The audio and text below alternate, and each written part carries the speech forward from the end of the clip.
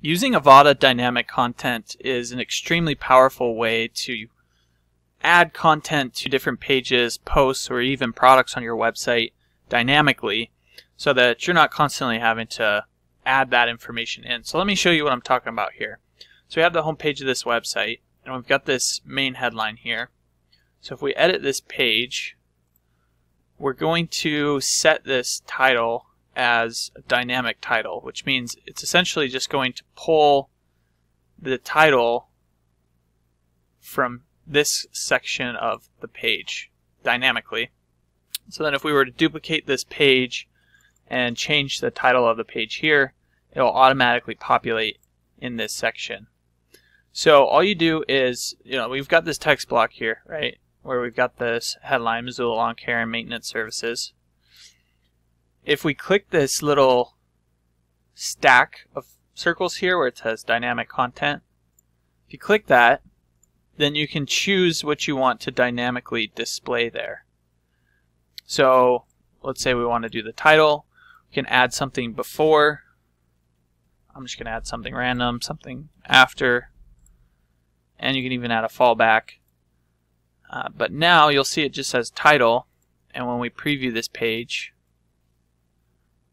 it's going to pull in that title. Missoula Lawn Care Services. One two three one two three.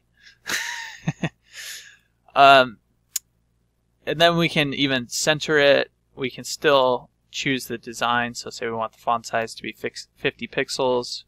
We want the font color to be bright red. We can still do all of that and have it pull this content in dynamically and that's just one instance. You can you can use dynamic content for a lot of different areas. Basically anywhere where you see these three the stack of three circles here. So we can even do it here. We could have this content dynamically be the you know a custom field, the site title,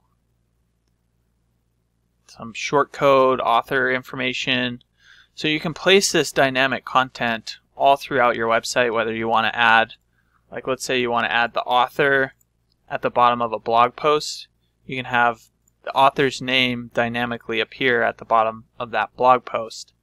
And so then that way, each time a blog post is published, the author's name is injected into that content and you're not having to manually go through and add that in every single time.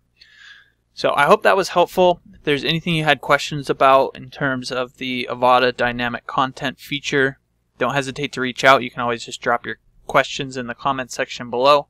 I'll get back to them there. And until next time, take care.